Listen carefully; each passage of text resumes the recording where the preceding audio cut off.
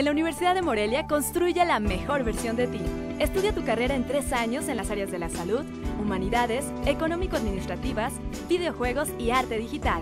udemorelia.edu.mx, teléfono 317-7771. Los problemas de inseguridad que ha enfrentado Michoacán durante los últimos meses han disminuido más de un 50% la afluencia turística, aseguran habitantes de la meseta purépecha. Mucho, ahorita que, está pasando el eso, pues ya, está bien bajito. ¿Cómo cuánto bajó? ¿De un 100% cuánto llegó a bajar? Mm, como este 70%. Pues ahorita casi ya no sale. Pues apenas estamos trabajando pues, este, para mantener ahí, pero pues no, no nos alcanza.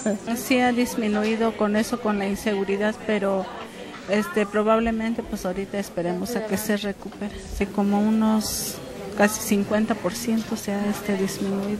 En gira de trabajo por Michoacán, la secretaria de Turismo Federal, Claudia Ruiz Macieu, dijo que el problema en el sector turístico se revertirá con promoción y apoyo económico al sector turístico. Entonces, promoción, eh, paquetes específicos, apoyo para que la gente viaje y difundir eh, las bellezas de Michoacán, sus ocho pueblos mágicos y todo lo que tiene que ofrecer es una forma de ayudar y otra forma es seguir apoyando a través de la inversión con los convenios de reasignación el desarrollo de nuevos proyectos y de nueva infraestructura. La Secretaría del Estado firmó en Morelia un convenio con la Secretaría de la Mujer para apoyar a las féminas en proyectos turísticos en el que Michoacán y Guerrero serán pioneros. Y la licenciada Lorena Cruz Sánchez. Este convenio es el inicio de una... Nos va a permitir ayudar a muchas mujeres, a cientos de mujeres en todas las entidades federativas, aunque vamos a empezar ahorita con Michoacán y Guerrero. Que la industria turística es un semillero donde pueden fructificar emprendimientos de muchas mujeres que ya laboran en el sector o bien que tienen amplias capacidades para desarrollarse.